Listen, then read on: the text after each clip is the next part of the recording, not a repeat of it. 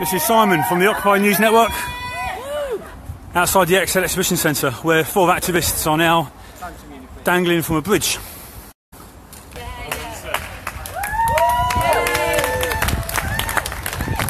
Why have you done this? Why have you done this? Because the is evil and it needs to stop and Britain should not be selling weapons to dictators like Saudi Arabia and Israel, Indonesia and Turkey and yeah, this is the little bit we can do. Well done. And how long do you intend to stay there if you're able? Well, as long as I can hold.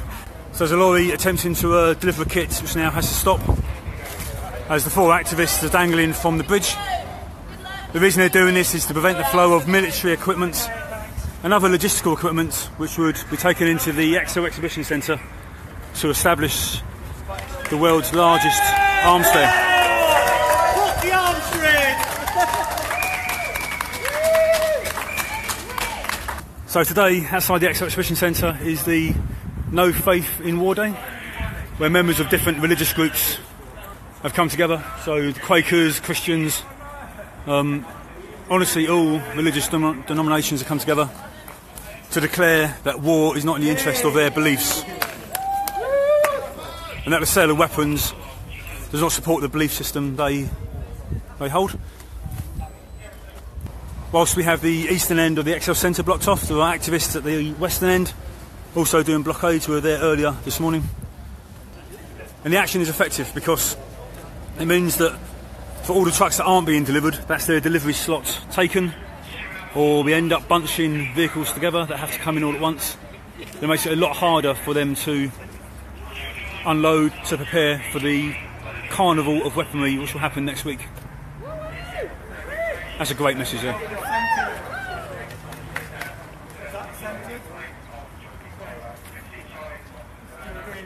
So if you're watching this later on video or watching live now, uh, we are here all week. The week of action is leading up to the DSEI Arms Fair next week. You can see the effective actions we're taking. No military equipment is being delivered. So you can come and join us. We are camped at the eastern end of the ExCeL Centre. So the nearest DLR is Prince Regent DLR. You can come down any time of day, so just come and spend some time or join one of the different themed days. So we'll come back here in a second. We'll take you back up to the uh, back up further up the hill. So during the day today, on this No Faith in War Day, we've had many religious groups come together. Um, there's no one demographic that comes to the Stop the Arms Fair week, uh, but today we've seen a lot of um, more senior members of the movement come and peacefully line the road. We've seen a number of uh, people being arrested.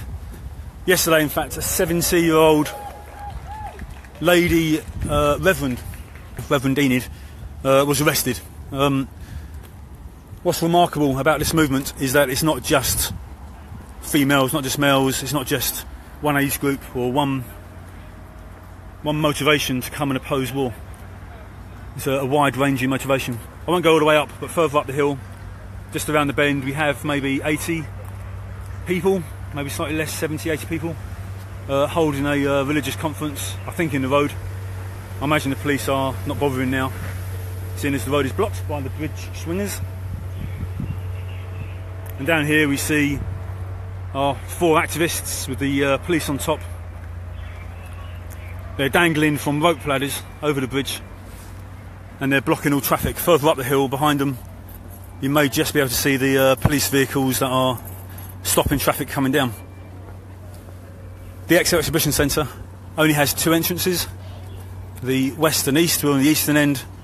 We have more activists that are working at the western end to slow down, impede, harass the delivery of equipment into the world's largest arms fair.